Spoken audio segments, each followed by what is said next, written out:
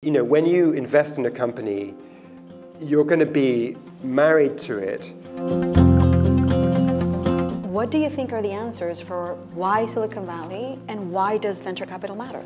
You can see this physically when you go to Silicon Valley. Go to the Rosewood Hotel, it's just VC meeting with person, VC meeting with person, all over this restaurant and then the bar in the evening.